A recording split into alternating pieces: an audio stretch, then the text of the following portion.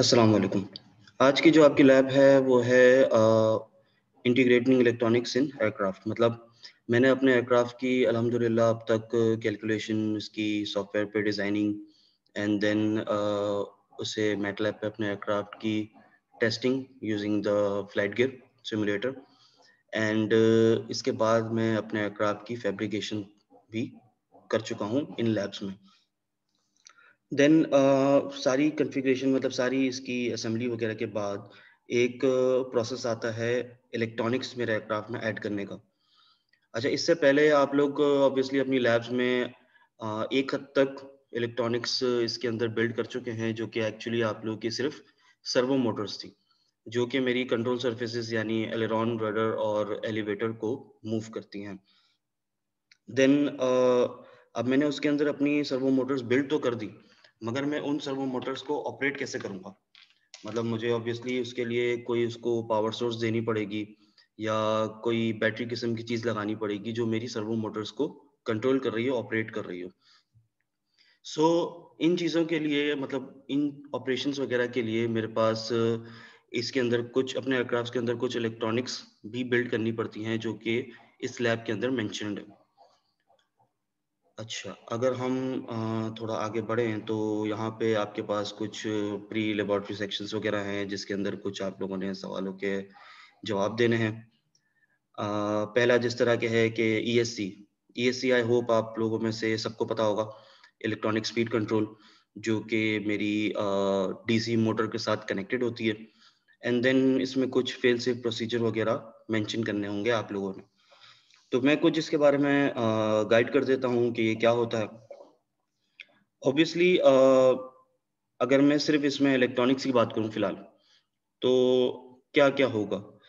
uh, मैंने अपनी servo Motors लगा दी हैं जो कि मेरी कंट्रोल सर्विसेज़ को ऑपरेट कर रही हैं। एंड इसके अलावा मैंने अपना ई e लगा दिया है जो कि मेरी डीसी मोटर को कंट्रोल कर रहा है।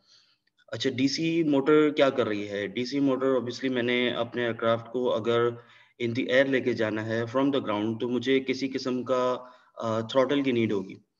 जैसे कि बाकी चीज़ों में होती है, बाकी एयरक्राफ्ट जो आपके होते हैं हमारे पास इंजन कनेक्टेड होते हैं। तो यहाँ पे आप लोग के पास दो चीज़ें अवेलेबल हैं, या तो हम अपने एयरक्राफ्ट के अंदर एक डीसी मोटर कनेक्ट कर दें, या हम इसके अंदर इंजन बिल्ड कर दें। तो खैर इस लैब की हद तक आप लोगों को इंजन तक तो जाने की ज़रूरत नहीं है। मगर अगर कोई इंटरेस्टेड हो तो आ, कर सकता है। मगर यहाँ पे जो आपकी इलेक्ट्रॉनिक्स इसके अंदर अवेलेबल है एक्सेप्ट सर्वो मोटर्स आप लोगों को आ, कीट ये चीज़ें लोन पे दे सकती है। जस्ट लाइक like, मेरे पास मेरा आरसी कंट्रोल हो गया ट्रांसमीटर रिसीवर या मेरी एयरक्राफ्ट में बिल्ड करने के लिए बैटरी हो गई देन ईएससी और इसके अलावा एक चीज़ होती है इसमें टेलीमेट्री। अच्छा अगर मैं आपको नीचे थोड़ी इसकी इमेज वगैरह दिखा दूँ तो मेरी टेलीमेट्री जो होती है वो कुछ इस तरीके की होती है। अच्छा टेलीमेट्री क्या है? टेलीमेट्री मेरे पास एक तरीके का मेरा वोल्टेज सेंसर है। वोल्टेज सेंसर की क्या नीड है मेरे एयरक्राफ्ट में? जस्ट सपोज़ मैंने अपने एयरक्राफ्ट में अपनी एक बैटरी कनेक्ट कर दी है। Now this battery could be three S और फोर एस यानी मैं थ्री सेल या फोर सेल कोई भी यूज़ कर सकता हूँ but it should match my motor जो मैंने इसके अंदर मोटर कनेक्ट की हुई है।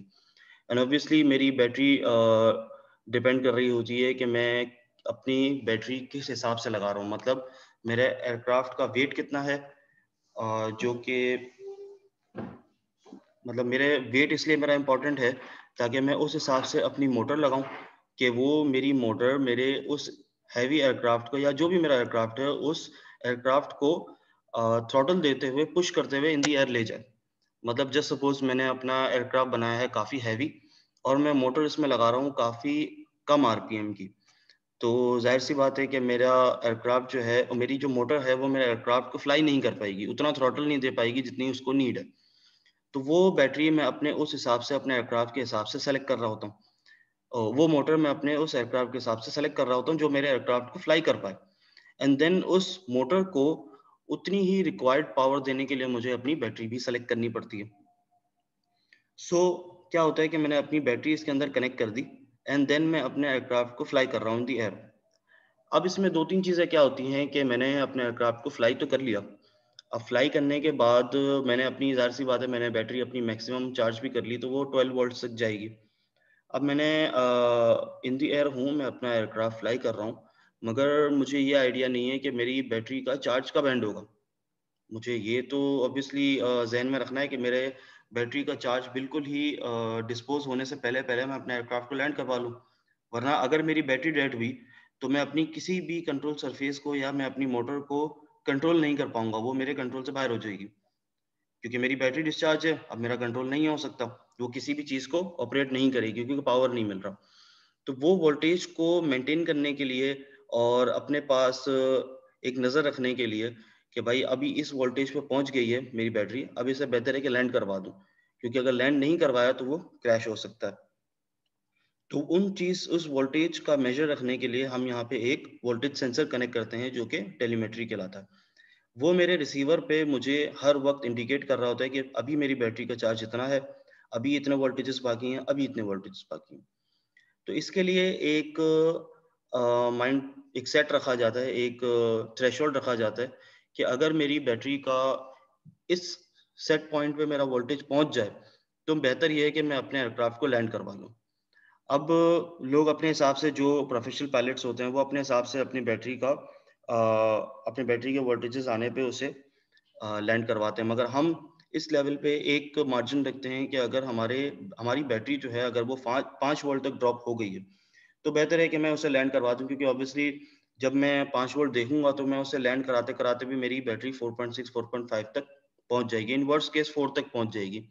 तो बेहतर है कि मैं जिस भी कंडीशन हो जस्ट सपोज़ मैं पहली दफ़ा लैंड कराने लगा और वो लैंड नहीं हो पाया किसी वजह से, मुझे दोबारा टेक ऑफ़ करना पड़ा तो ये सारी चीज़ों को नज़र में रखते हुए हम एक मार्जिन रखते हैं कि फाइव वोल्ट पे आने पर हम अपने एयरक्राफ्ट को लैंड करवा देंगे। तो उस चीज़ को मेजर करने के लिए उस वोल्टेजेस को मेजर करने के लिए हम इसमें टेलीमेट्री कनेक्ट करते हैं।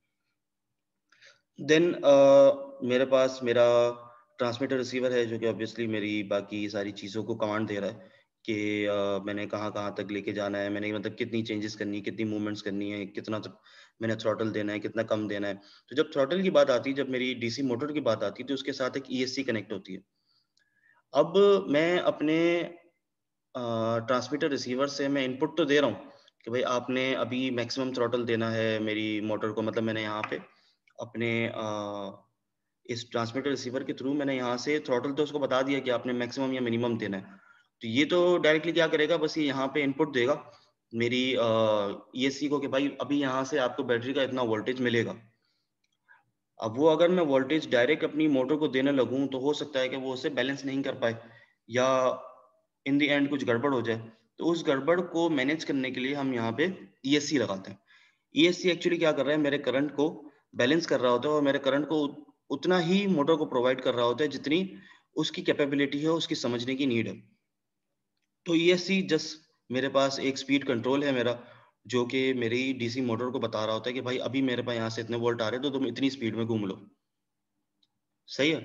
अच्छा इसको कनेक्ट करने के बहुत ही सिंपल तरीके हैं। मेरे पास जो ये वाला एंड है, मेरी ई e का, वो यहाँ से जो मेरे वायर्स होते हैं, वो एमटी होते हैं।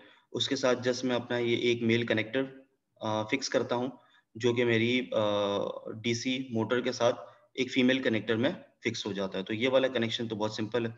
अब चूँकि ये इलेक्ट्रॉनिक्स ही लैब है तो मैं इलेक्ट्रॉनिक्स की हद तक आप लोगों को समझा रहा हूँ कि ये कनेक्शन किस तरीके से होते हैं। सही है तो यहाँ पे मैं एक मेल फीमेल कनेक्ट कर देता हूँ जो कि मेरी ई e को मेरी बैटरी के साथ कनेक्ट कर रहा है। देन uh, जो मेरी ई e का सेकेंड एंड है जो ये वाला एंड है यहाँ पे जस्ट इसके तीन वायर्स होते हैं। उन तीन वायर्स को मैं अपनी डीसी मोटर के इन सेम तीन वायर्स के साथ आपस में कनेक्ट कर देता हूँ। तो ई e का कनेक्शन तो इतना कोई हार्ड नहीं है। देन अगर मैं अपने ट्रांसमीटर रिसीवर पे आऊँ तो ट्रांसमीटर रिसीवर में अच्छा ये जो है, ये एक स्टार्टअप स्क्रीन इसमें दिखाई हुई है मेरे ट्रांसमीटर पे। जब मैं अपना ये कनेक्ट करता हूँ ना बैटरी तो बैटरी का मेरे पास वोल्टेजेस यहाँ पे नीचे शो हो रहे होते हैं कि अभी मेरे पास वोल्टेजेस इतने हैं, अभी वोल्टेजेस इतने हैं। तो जो भी मेरे वोल्टेजेस बैटरी के होते हैं, वो यहाँ पे मेरे पास स्क्रीन पे शो हो रहे होते हैं। देन uh, यहाँ पे अगर आप लोग इसका रिसीवर का ये थोड़ा मैक्सिमाइज्ड व्यू है इसमें अगर देखें तो यहाँ पे मेरे पास टोटल छः चैनल्स गिवन है। इसमें से तीन चैनल जो हैं वो बाकायदा मैंशनड हैं कि ये सर्वो के हैं। तो सर्वो से मुझे ऑब्वियसली समझ में आता है कि मैं अपने ट्रांसमीटर से जो भी वैल्यू ट्रांसमिट की है जो भी एनालॉग से जो भी मैंने मूवमेंट ट्रांसमिट की है वो यहाँ पे movement in form of voltages show हो रही होगी। तो ये जो भी यहाँ पे मेरे पास वोल्टेजेस आ रहे होते हैं उन पे मैं इन तीनों सर्वोस को अपनी कनेक्ट कर देता हूँ। अपनी एलेरॉन की रोटर की और एलिवेटर की तो जो भी मैं यहाँ पे डेटा सेंड कर रहा होता, वो इन तीन पिन से डेटा आ रहा होता और मेरी सर्वोस पे जा रहा होता।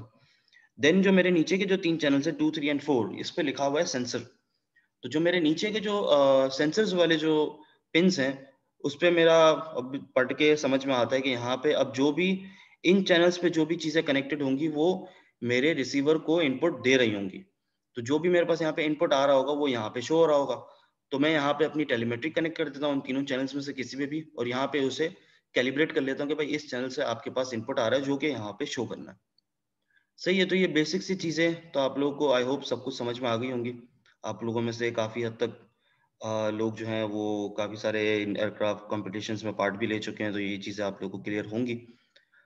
अच्छा इसके अलावा मेरे पास एक चीज़ आती है ये बैटरी माउंटिंग। अच्छा बैटरी माउंटिंग का इशू ये होता है कि हम जो मेरे एयरक्राफ्ट में दो सबसे हैवी चीज़ें हैं। एक मेरी डीसी मोटर है और एक मेरी ये बैटरी है। तो हम अपने एयरक्राफ्ट में कोशिश ये करते हैं कि हम ये दो चीज़ें ऐसे कनेक्ट करें कि वो मेरे एयरक्राफ्ट को हर वक्त बैलेंस्ड ही रखें। अच्छा जब बैटरी की बात आती है तो बैटरी तो मैं अपने एयरक्राफ्ट में कहीं भी इंसर्ट कर सकता हूँ, क्योंकि वो डीसी मोटर से इस तरह अलग है कि डी जो मेरी एयरक्राफ्ट की कॉन्फ़िगरेशन होती है मैं अपनी कॉन्फ़िगरेशन के हिसाब से अपनी मोटर को कनेक्ट करता हूँ। अच्छा जस्ट सपोज़ कि आप लोगों में से किसी ने अपने एयरक्राफ्ट की कॉन्फ़िगरेशन रखी है पुलर तो पुलर से आप लोगों को ये चीज़ समझ में आती है कि मेरा एयरक्राफ्ट जो मेरी डीसी मोटर है, वो मेरे एयरक्राफ्ट को पुल कर रही होगी। तो मेरा जो डीसी मोटर है, वो मेरी नोज़ पे लगी हुई होगी एयरक्राफ्ट के। तो जब वो मेरा, मेरी मोटर ऑन होगी, मेरे प्रोपेलर को मूव करेगी तो वो पूरे एयरक्राफ्ट को पुल करता हुआ लेके जाएगा और फ्लाई करेगा। और अगर मेरी डीसी मोटर मतलब मेरा एयरक्राफ्ट जो है, अगर वो पुशर कॉन्फ़िगरेशन का है तो मेरी डीसी मोटर मेरे फ्यूजलाज के बैक साइड पे मतलब बैक एंड पे लगी हुई होगी, जो कि ऑपरेट होने पे मेरे पूरे एयरक्राफ्ट को पुश करती हुई इन दी एयर लेके जाएगी। तो ये कॉन्फ़िगरेशन तो आप लोगों की पहले से डिसाइडेड होगी और उसी हिसाब से आप अपनी मोटर को कनेक्ट कर रहे होंगे।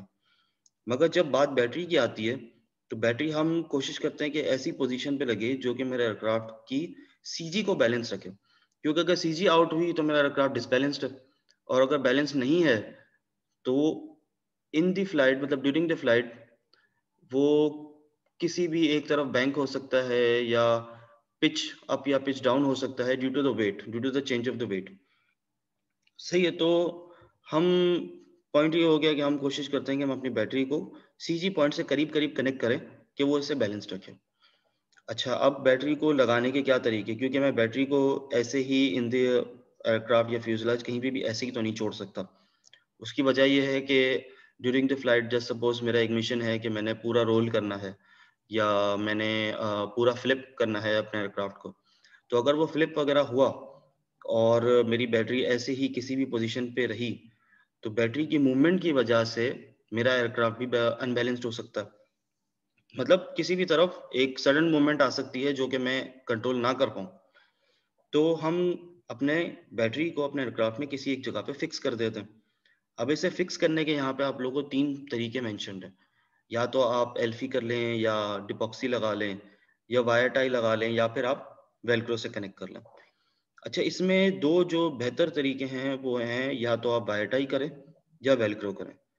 बाकी दो को करने का ये इशू है कि जस्ट सपोज़ मैंने एल्फी या डिपॉक्सी कर लिया। अब वो करने के बाद मेरी बैटरी जो है मेरे एयरक्राफ्ट में परमानेंट फिक्स्ड हो गई। अब फिक्स तो हो गई, अब मुझे इसे चार्ज करना है। तो चार्ज करने के लिए मैं अपनी बैटरी को अपने एयरक्राफ्ट से अलग कैसे करूँगा? अगर मैंने अलग किया तो हो सकता है कि मेरी वुड पे अफेक्ट हो जाए, या मैंने किसी भी मटेरियल का अपना एयरक्राफ्ट बनाया, उस पर अफेक्ट करे, टूट सकता है, कुछ भी हो सकता है। या अगर मैंने नहीं भी निकालनी मैं इसे प्रॉपर मेंटेन करता हूँ। तो मुझे इसे चार्ज करने के लिए मुझे अपने पूरे एयरक्राफ्ट को किसी करीबी सॉकेट पे लेके जाना पड़ेगा, जहाँ पे मैं बैटरी चार्जर लगा के अपनी बैटरी को चार्ज कर सकूँ। तो इन चीज़ों से बचने के लिए हम क्या करते हैं? हम वेलक्रो लगाते हैं या वायर टाई लगाते हैं। वायर टाई में ये अच्छा तरीका है कि हम वायर टाई को खोल के अपनी बैटरी को बाहर निकाल के उसको चार्ज कर सकते हैं, या मैंने अगर कभी रिप्लेस करनी है या किसी और क्राफ्ट एयरक्राफ्ट में लगानी है तो मैं कर सकता हूँ। तो सेम वेलक्रो का भी यही तरीका है। वेलक्रो काफ़ी हद तक सुटेबल है, क्योंकि वो आप लोग सब जानते होंगे कि दो इसकी साइड्स होती हैं और इसको आपस में स्टिक करो तो ये काफ़ी परमानेंट रहती है। इसके दोनों एंड्स को जो है, वो हम अपने एयरक्राफ्ट और बैटरी पर स्टिक कर देते हैं एंड देन इसकी जो मिडिल साइड होती है, हम दोनों को आपस में कनेक्ट करते हैं तो वो फिक्स हो जाती है। तो दोनों तरीकों में हम अपनी बैटरी बाहर निकाल सकते हैं या रिप्लेस कर सकते हैं या कोई भी हमारे पास इशू हो तो हम इसको चेंज कर सकते हैं। देन आपकी मोटर आती है जब मोटर को फिक्स करने का तो बहुत ही सिंपल तरीका है। उसमें आपके पास स्क्रूज मतलब नट्स एंड बोल्ट्स गिवन होते हैं। तो आप उसको किसी भी पोजीशन पे लगा रहे हो, कल को आपने चेंज करनी है या मोटर किसी और एयरक्राफ्ट में लगानी है तो जस्ट आपने उसके नट एंड बोल्ट्स खोलने होते हैं एंड आप उससे रिप्लेस कर सकते हैं। तो आज की लैब जो थी, वो जस्ट यही थी कि मैं अपने एयरक्राफ्ट में अपनी इलेक्ट्रॉनिक्स को किस तरीके से बिल्ड करता हूँ और उसके कनेक्शंस किस तरीके से करने होते हैं। देन uh, ये जो है आप लोग की जस्ट एक थ्योरी बेस्ड लैब थी। अल्हम्दुलिल्लाह कीट वापस ऑन कैंपस लैब्स करवा रही है। तो ये वाली चीज़ें अगर इसमें फर्दर कोई इशू हुए तो वो इन द लैब सॉल्व हो सकते हैं। वो तो खैर कोई भी इशू है कोई चीज़ आप लोगों ने एडवांस पूछनी हो या कुछ हो तो वो इन द लैब हम कर सकते हैं। एंड इन चीज़ों के बारे में अगर आप लोगों ने कोई मज़ीद डिटेल वगैरह पूछनी हो तो वो हम लैब में भी पूछ सकते हैं या और else you can contact me about it so आज के लैब जैसे इतनी थी। uh, अगर कोई इशू हो तो you can contact me thanks